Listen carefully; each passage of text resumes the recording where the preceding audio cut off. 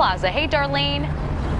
Hey, Natalie. I'm going to go out on a limb on this one and say that I'm going to say that summer is probably everybody's favorite season in Chicago. You know why? Because there's a lot of fun going on and a lot of concerts. And here to talk to us about some of the biggest ones coming to town and when you need to get your ticket, our good friend Phyllis Klein, better known as Front Row. Phyllis, hey there, girlie. How you doing? How are you? Good. Isn't it beautiful out here? Oh my gosh. But it's perfect. It is perfect, but it's not going to be that perfect for the big concert of the year over Right. at Soldier Field this weekend. Right, and that is Beyonce is going to be here. If you hadn't heard, Yeah. she's going to be bringing her Formation tour, and uh, she's going to be here Friday night and Saturday night. Saturday night tickets are available. Friday night is sold out.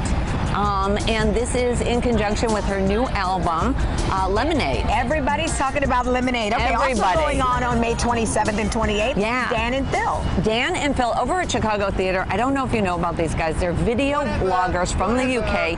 They have over 12 million followers. They sell out all over Europe, and this is their first time here in the States. And they're hysterical. And they do a lot of um, audience participation. We're listening So- to them laugh right now. And what about on June 2nd? Chris Stapleton. Yeah, well, if you haven't heard his name, I'm sure you have because he is one of the biggest names in music, in country music, and he won, let's say, the male vocalist as well as new album of the year at the CMAs. So he's going to be here over at First Merit Pavilion at Northerly Island. All right, in Chicago's very own. I I don't like living under your spotlight. Jennifer Hudson is going to be here out in Indiana. Out in Indiana Star Plaza, it's a little different for her. It's a really cool 44th annual benefit concert.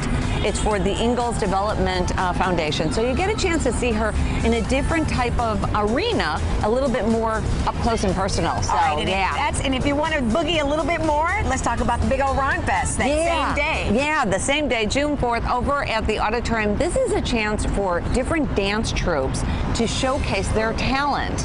And it's kind of cool because this is part of the auditorium's uh, Made in Chicago dance series. So it should be everything from Spanish dance to Mexican dance to Irish. It's really great. This is another one that I'm looking forward to hearing and seeing this summer, the Dixie Chicks. Yes, yes. Gosh, I'm excited about They are going to be here over at like Hollywood Casino Amphitheater. Me too. And that's on June 5th. And the last time they were here was with the Eagles, and that was about six years ago. And the last time they toured was 10 years ago. So this is a big to do. We're happy to have them here. All right, and what about on August 9th? And we have nothing, and we have nothing to begin to see. Oh, Barbra Streisand. I love that. I Okay, love that. Barbra Nancy Streisand. out here looking at me like, stick to talking dog. exactly.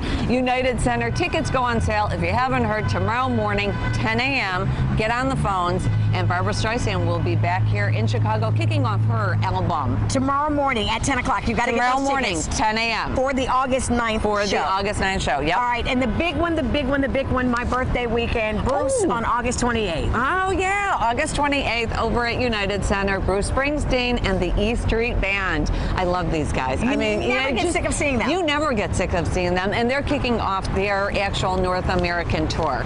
So here in Chicago. All right, Yep. we got to remind everybody too. Our good friend uh, Dion was just here. He was here last week, and he is going to be at the uh, at the venue on June 17th. He wanted me to tell everybody to let Oh, him know that he's going to be back. You, you're a huge fan of his as well. Yeah. If people want more information about where to go Yep. to get more information on those concerts, where can they go? They just go to frontrowphyllis.com. Front row.